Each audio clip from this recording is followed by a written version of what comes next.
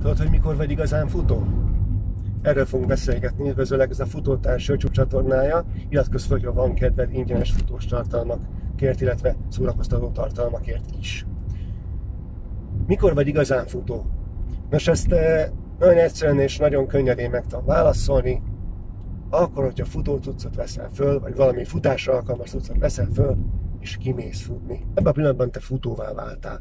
Ha meglát egy ember az utcán, akkor azt fogja mondani, hogy itt egy futó. Mondom neked őszintén, hogy honnan jutott ez eszembe többek között.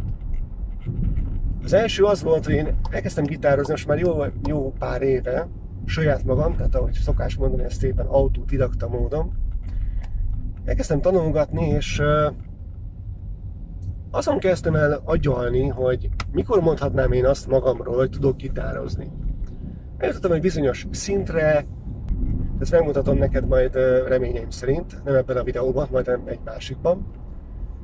De hogy azon kezdtem el agyalni, hogy tehát mondhatom azt, hogy tudok gitározni, azért mert le tudok játszani mondjuk 6, 7, 8, 10, 12 x akkordot, tudok bontást csinálni, különböző ugye, pengetési stílust megvalósítani.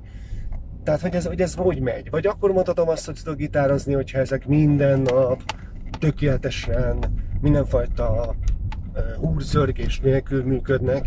Mikor lehetek, mikor lehethatom én azt, hogy tudok gitározni? El lehetne játszani négy akkordot is úgy, különböző módon, hogy valaki, aki nem gitározik, vagy nem nincs képen a hangszerekkel, zenéleg nincs otthon, az, az lehet, hogy élvezi, vagy élvezni attól függetlenül, ugyanis tényleg lehet szépen játszani, különböző ritmusban, különböző dallamokat, és gyakorlatilag egy albumot is össze lehetne rakni egyébként négy akkordból. E, nyilván túlzok valamilyen szinten, de most érteni fogod, és, és valaki azt mondja majd, hogy úgy gyönyörű el. Valahol ez a futásnál is egyszerűbben megfogalmazható szerintem, amit mondtam az elején, tehát kimész, fölveszel egy futócuccot, és elkezdesz futni, és kocogsz, akkor neki futóvá válsz. És innentől fogva nincs többnek jelentősége. Tehát azon nem kell agyalnod, hogy most te futó vagy, vagy mikor vagy futó, vagy akkor vagy futó, hogyha 6 perces ritmusba futsz ezreként, vagy akkor vagy futó, hogyha 5-ben, vagy csak 4-ben, ki tudja, lehet, hogy 3-30-ban. Tehát nyilván ez nem, tehát ez nem, ez, nem, nem erről szól. Tehát lehet két kilométert futni, akár 8 perces ritmusban, az is futóvá teszi az embert. Arra kell koncentrálnod, hogy a, ami futóvá tesz valójában, és amikor azt mondom, hogy futó vagy, és a, vagy kimondtad azt, hogy futó vagy, hogyha most egy picit ennél azért bölcsebbet, vagy hogy tetszik, nem túl nyálasat szeretnék mondani, akkor egyértelműen azt mondanám, hogy nyilván a rendszeresség tehet futóvá.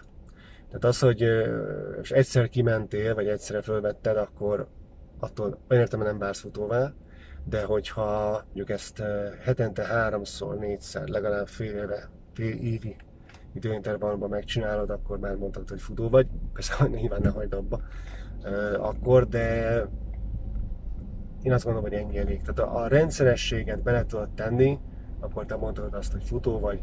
A videó alatt megtalálsz néhány linket, ami a különböző edzésterveinkhez vezet, a futótás különböző edzésterveihez. Ezek mind ingyenes edzéstervek. Töltsd le őket, nagyon jó véleményekkel vannak róluk szerencsére, akik olvasták, úgyhogy és használták is. Remek eredményeket értek el. Az az adott futó célra fogsz tudni rákeresni, amit éppen szeretnél megvalósítani, vagy szeretnél elérni, és azt szerint fogsz tudni tovább haladni majd. Erre biztatlak, nézd meg a linket, és futás legyen benne.